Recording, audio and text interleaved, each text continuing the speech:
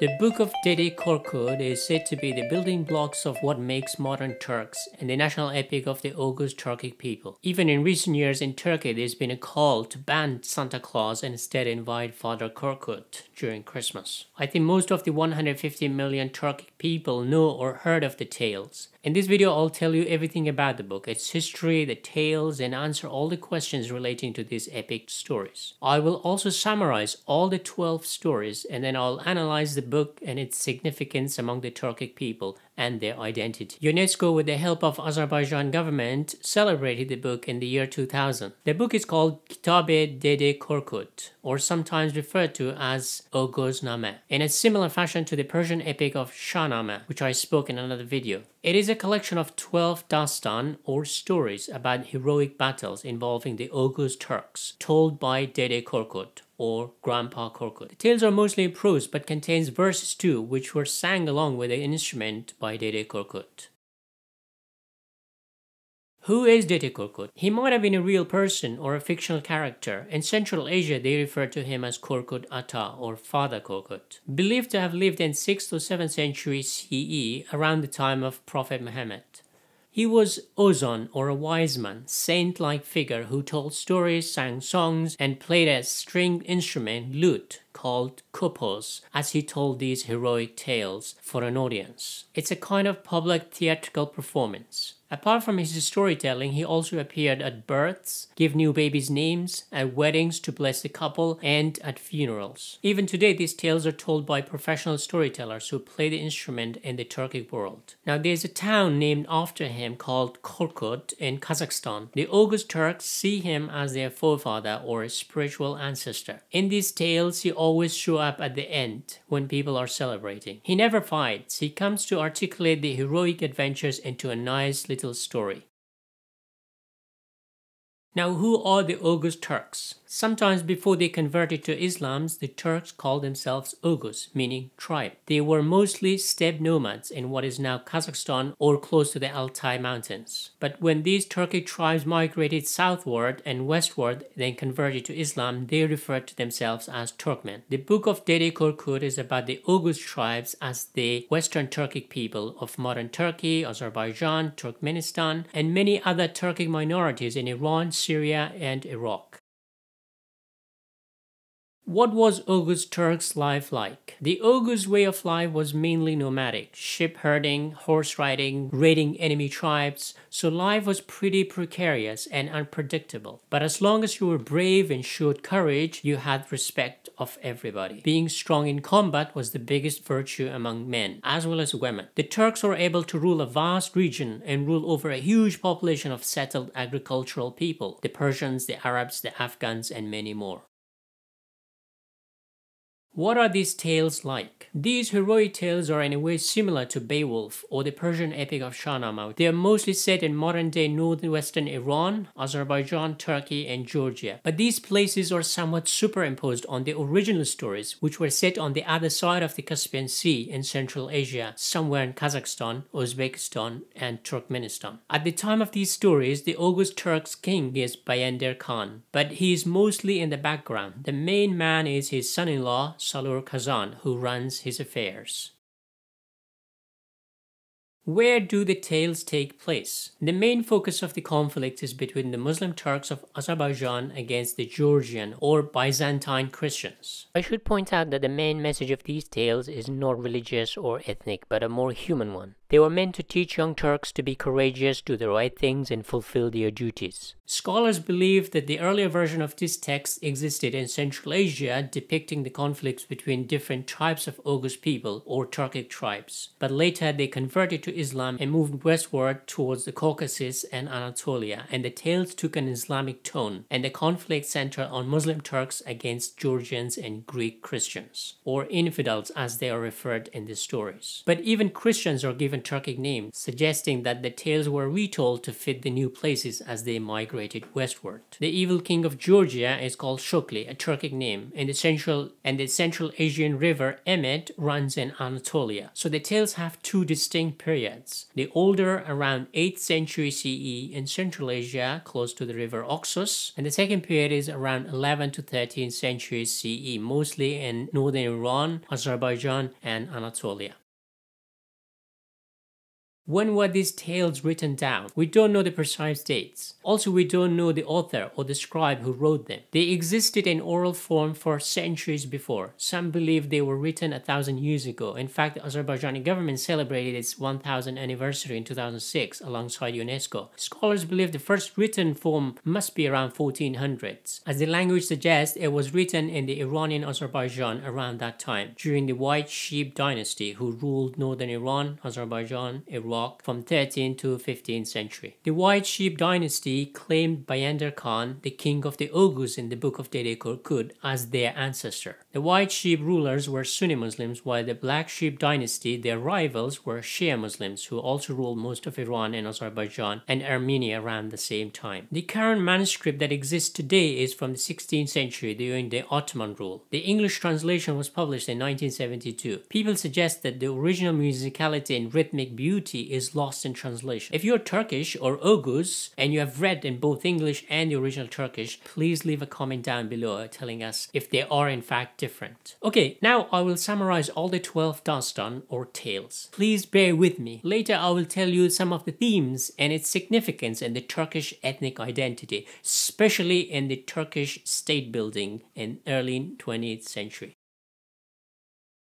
Okay, so the first story is Bogaj Khan, son of Derse Khan. The Khan and his wife pray and do good deeds to have a son. They are rewarded with a son, Bogaj, which means bull. He grows into a formidable warrior who can wrestle anyone, even bulls and lions. But Derse Khan's other warriors grow very jealous of him, so they deceive the Khan one day. The Khan, thinking he's an enemy, shoots his own son from behind. But his wife finds the dead son and heals him with flowers and breast milk. Hearing that Bogach is revived, the devious warriors, worried they might be punished for their treachery, they kidnap the Khan. Bogaj confronts and defeats the 40 deceiving warriors and rescues his father. At the end, Bogaj is given his own country to rule, Bogajistan. I'm joking. Okay, number two, how Salur Kazan's house was pillaged. Salur Kazan is somewhat the main hero of the whole book. He's the son-in-law of the great Bayandir Khan. One day he gets drunk and goes hunting and leaving his house vulnerable. His enemy, King Shokli, uses the opportunity to rob his house and kidnap his family. Here we also meet a brave shepherd with a slingshot who stops Shokli taking the sheep too. For some reason, the sheep appear to be more important than the family. When Salur Kazan returns, he assembles an army and kills King Shokli and rescues his family. Number 3. Bamsi Beyrek of the Grey Horse. Two babies are engaged at birth, and when they grow up, they try to get married, but there are all sorts of obstacles. The boy is captured by enemy and kept for 16 years. When he hears that the girl is about to marry someone else, as everyone thinks he's long dead, he escapes with the help of enemy princess. He arrives at the wedding and the girl recognizes him. Here, he reveals that he cannot marry her as he has promised the infidel princess to marry instead. The girl is disappointed. He returns to rescue his warrior friends and marry the wrong woman. Number 4 how Prince Uruz, the son of Prince Kazan, was taken prisoner. Salur Kazan, which we met in an earlier story, takes his own son hunting to teach him some skills, but they are ambushed. In the fight, his son is taken captive, but Salur Kazan thinks the boy has escaped and gone home. He returns home to find his wife furious at him for leaving the boy behind. He then returns to rescue his son, but soon joined by his wife and 40 female warriors. They defeat the enemy and rescue their son Uruz and hold a feast. The wife wife is pretty strong here as she confronts the useless husband and then instead of sulking, devises a practical plan to rescue the boy. Number 5.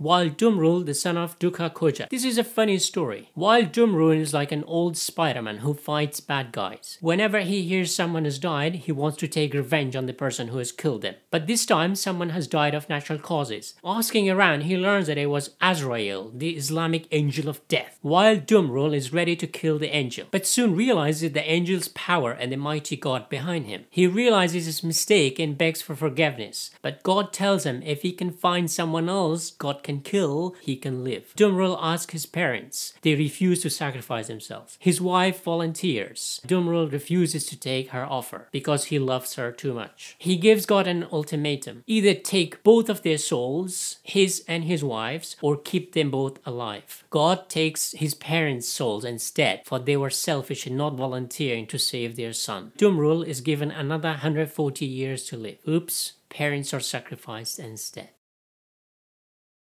Number 6. Khan Turali, son of Khanli Koja. This is a romantic tale. Khan Turali is very picky when it comes to choosing a wife. He wants a woman who's better than him in everything. Finally, he settles on the daughter of an infidel king of Trebizond. To marry Princess Saljan, he has to defeat a lion, a bull, and a camel. He passes the tests and gets the princess. The Christian king regrets his decision and decides to take her back. In the fight, Khan Turali is in trouble and almost on the verge verge of defeat, but saved by his new wife. Now, he feels humiliated. He asks her to shoot him out of his misery, but she misses her shot, and they realize that they really love each other. So what if he lost his pride? Saljan is a true hero who puts her husband to shame, but they end up a happy couple, not sure for how long. Number 7. Yeginek, son of Kazile Koja. Kazile Koja gets drunk and goes to raid a castle, as you would do when you're drunk. Of course, he's captured and put in dungeon. His captor is the infidel king, who has a half-ton mace that nobody can get even close to him. Years go by and Kazile Koja's son grows up and rescues him from the infidel king. He introduces himself to his father, who is overjoyed by this surprise.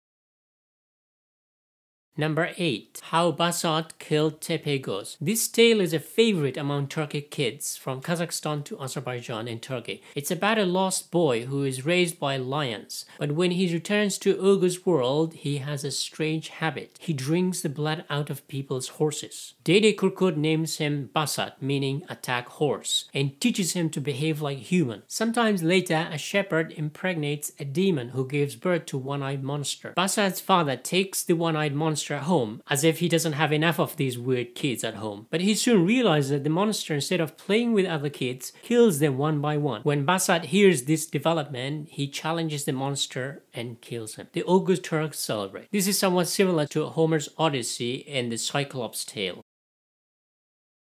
Number 9. Emran, son of Begil. This is also a bit funny. Begil falls off his horse, but is too embarrassed to tell anyone. He stays home while nursing his injury. His wife asks him repeatedly what happened, but he finally tells his clumsy wife the truth, and she leaks the news. Soon everyone knows. The news gets to the enemy king Shokli, who thinks it's the perfect timing to attack. But Begil's son, despite being very young, defeats Shokli and converts him to Islam, and the Oghuz Turks celebrate.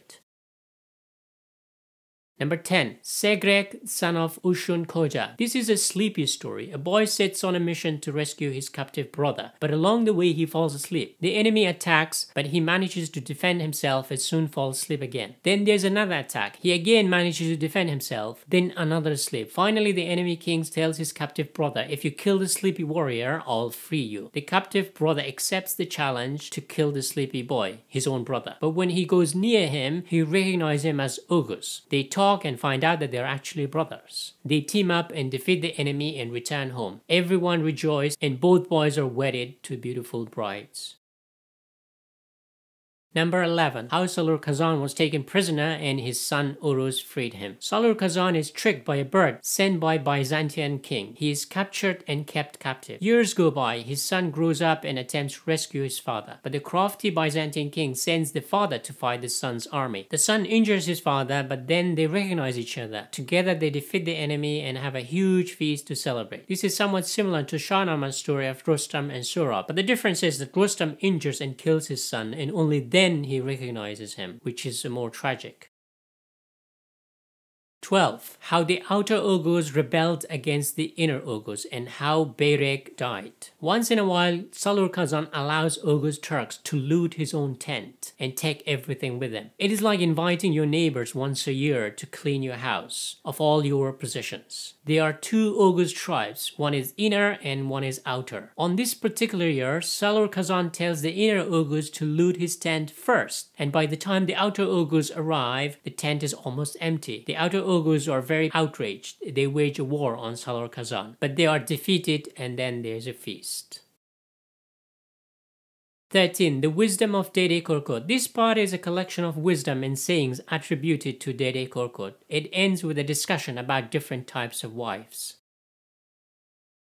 Okay, now let's talk about the themes of these stories. Some of the common themes that run through the book of Dede Korkut are loyalty, courage, self-sacrifice, respect, love between family members, and warning against those who don't follow these ideals. Fathers are generally pretty stupid. So on so many occasions they get in trouble because they either drink or they are too full of themselves. When men are in trouble, their wives and sons usually save the day. Something that struck me was how practical the people are. When they face danger or are enraged or very angry, those who use their common sense and act in a more practical way usually win and get the rewards. They try to channel their emotions toward a practical solution. At the end of every tale, Dede Korkut comes to summarize the events into a nice little story that teaches people how to avoid mistakes. In a sense, these are cautionary tales to teach the young Turkic kids how to react to a difficult situation or how to act in a proper way.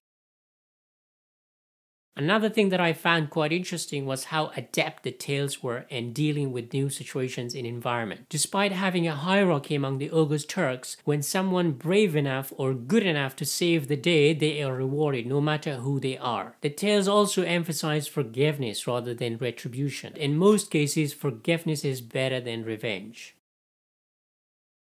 By reading the tales, you get the feeling that these people were constantly attacking one another or plundering and pillaging. It is similar to the pirate's tale of the rough seas where you have to rob others of their possessions and treasures. In fact, in one of the stories, Salur Kazan invites Oghuz people to come and loot his tent every few years. It is like Boxing Day or Black Friday sales, but everything is free. So the kind of world the Oghuz Turks lived were interesting as you were never safe from someone's hijacking your car, I mean emptying your tent while you walk your dog. I mean horse. It's like a sport